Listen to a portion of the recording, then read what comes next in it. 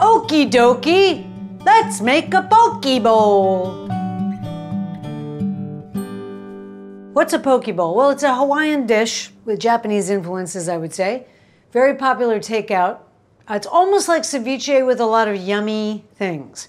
So what we're gonna do is just make a tuna poke bowl, okie dokie pokey, and we're going to just do some beautiful garnish. And really, you can use traditional garnish or you can use whatever you want, as long as you have beautifully seasoned, almost ceviche fish.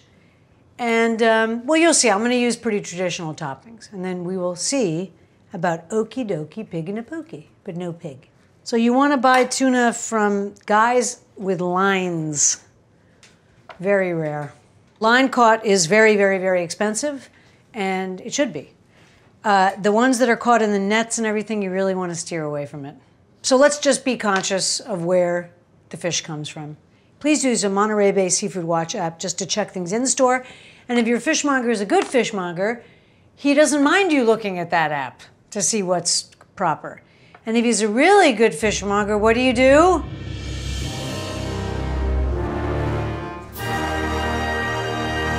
I'm gonna cut this into sort of bite-sized squares. It's not sashimi.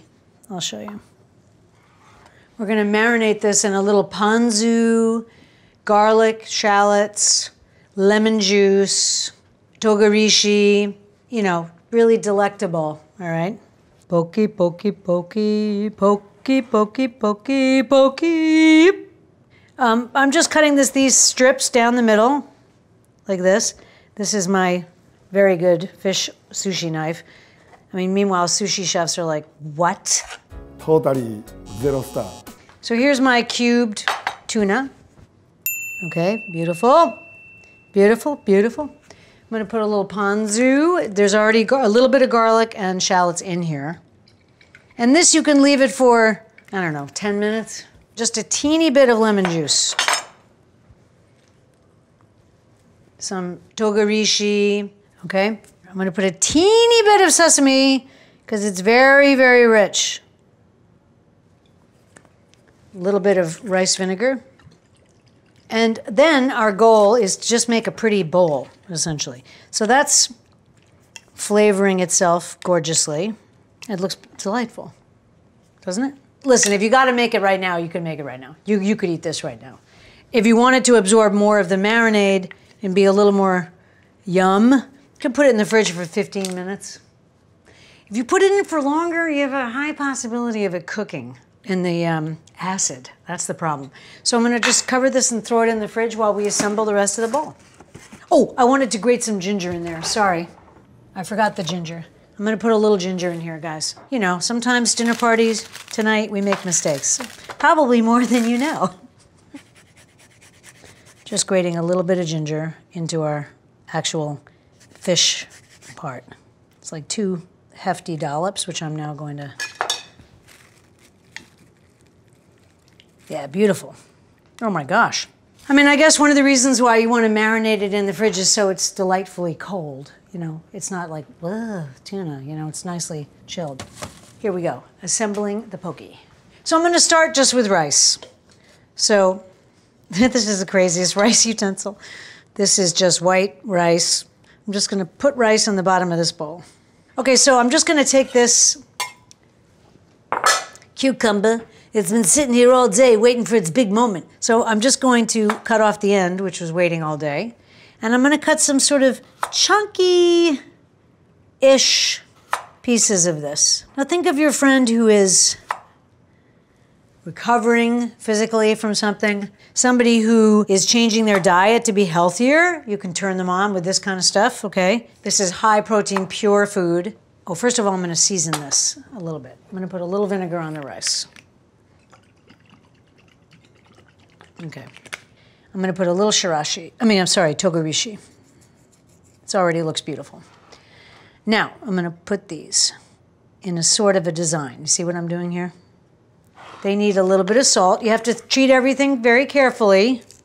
Here are some beautiful purple radishes that I'm going to put in a really nice design. Your friend can mix it, they're going to mix it all in. Okay, but it's just your presentation shows love, you know?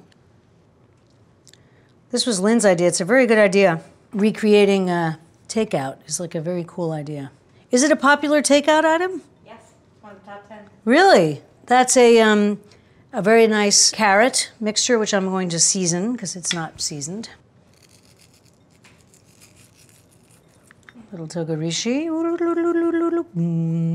Um, I'm going to put some edamame beans. These are just edamame beans. I thawed them in salty water. I'm just putting, now don't forget, our red element is the tuna. So as I'm building this, I'm thinking of how it looks, right? I'm noticing that we have a lot of green and white, but the center is going to be red. I'm to squirt a little lemon juice on those. You want each thing to have its own awesome flavor, you know? All right, so I'm just going to put half an avocado on here also. No need to surrender. I'm a humongous Joni Mitchell fan. It even sounds weird to even say that. Joni Mitchell fan. I'm going to use this Thai green chili, which is quite spicy. I'm just going to cut it on an angle, you know, to try and get slices like that. And that's not for the faint of heart, by the way. I'm to put those where they're super obvious. All right, beautiful. Let's get the tuna. Okay, so this has made some liquid and also the, um, we put liquid in it. I don't, I'm not gonna use all the liquid. Ooh. I'm gonna kind of go in between the edamame and the carrots because I'm running out of room. Okay, great.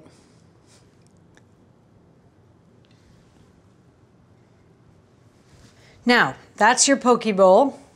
Gorgeous.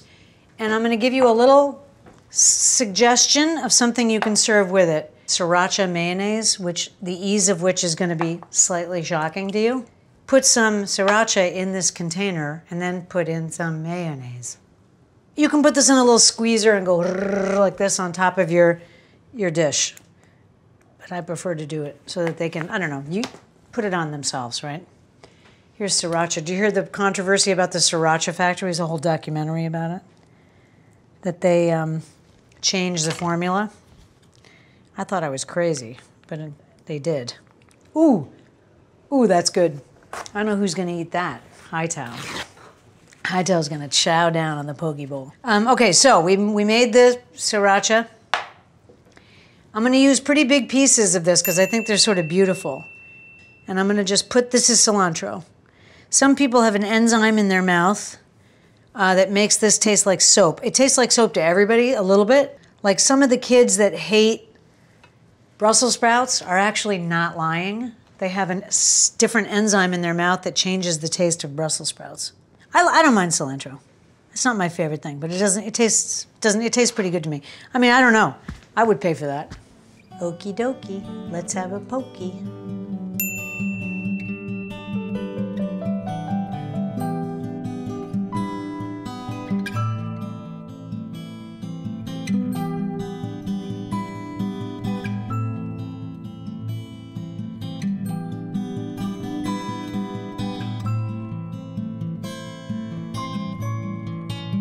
We just want to reiterate how grateful we are that you guys even know we exist and how much we appreciate your attention, your comments, your questions, your queries. We've had some great requests recently and they're all going on the docket. So we do read everything and we try to respond and thank you from the bottom of our hearts for supporting Dinner Party tonight.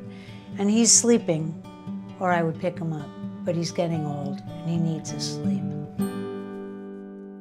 Okie dokie, pig in a pokey, but no pig.